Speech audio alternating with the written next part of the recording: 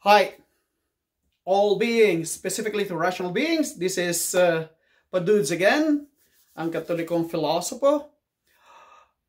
Our topic for today is about the advantage of being Catholic. The Another advantage of being Catholic is you can prove the Catholic Church as being founded by Christ historically and geographically. Historically, if you read the Acts of the Apostles, uh, it would tell you that the apostles has community in Rome, in Italy. It says Italy itself. And now the center of the church is from is in Rome, from Jerusalem to Rome because of uh, Constantine so you can prove that. You can just Google it. It will tell you the story. And geographically as well, we can prove that the Catholic Church is founded by Christ. In, in, in, in Jerusalem itself, the most important places where Christ had been, there are Catholic churches. For example, the, in Bethlehem, where it's supposed to be the place where Jesus was born, there is the Catholic Church of the Nativity and others. Okay?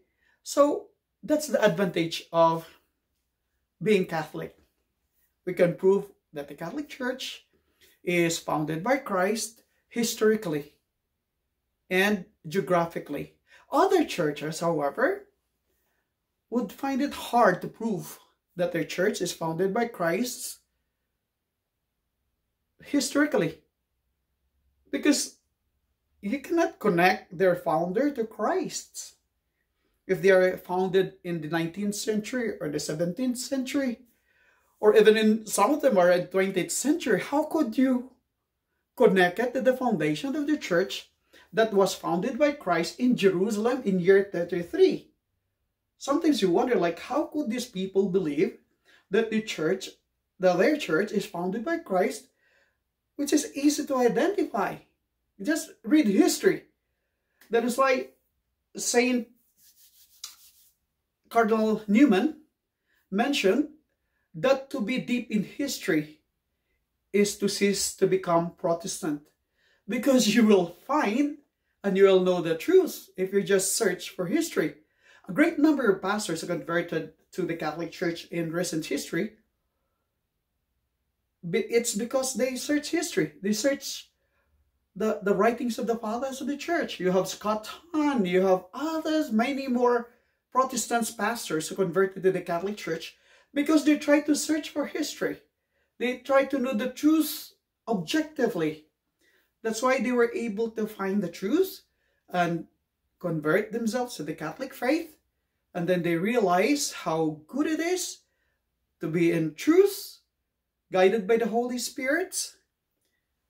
Right? So, the advantage of being Catholic one of the advantages again is because our faith, the Catholic faith, can be proven historically, easily. Google it. And you could read historic history books and would tell you about the beauty of the Catholic Church despite some scandals in it, which is obviously there will always be scandal because like even Christ, when he chose the 12 apostles, there's a Judas there's a Thomas, there's a Peter, okay? So, the, the church that was founded by Christ is not perfect, but Christ had promised to be with it.